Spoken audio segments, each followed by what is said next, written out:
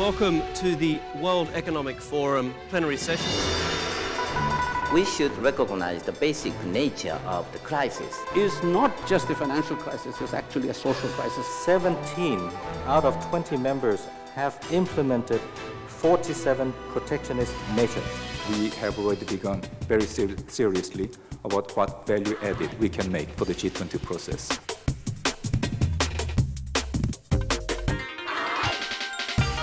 Really need to be mindful of how recovery is taking place. People have forgotten how to make money the old-fashioned way, so they make money with money. I'm proud to represent a bank which didn't take any government money. There's risks, but there's opportunities. That's it. Okay. so what are you buying? I think there's a tremendous opportunity for us to be able to share views and ideas and, and try to help uh, each other in, in, in the current environment. On behalf of Korean business community, I would like to welcome you all to this Korean lunch.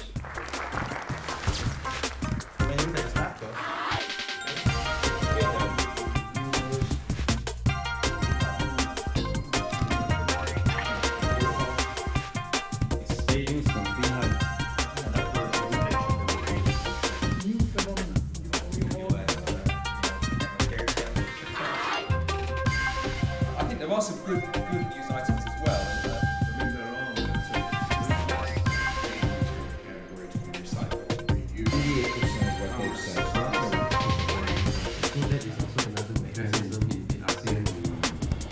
it is a great honor to have such renowned economic experts here in Seoul.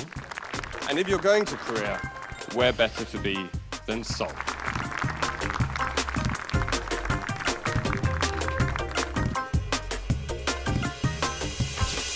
It is our great uh, pleasure to welcome Prime Minister Han, Prime Minister of the Republic of Korea. The urgency of the challenges posed by economic crisis and climate change necessitate a comprehensive policy response. We need to use those resources more efficiently to ensure sustainable global economy.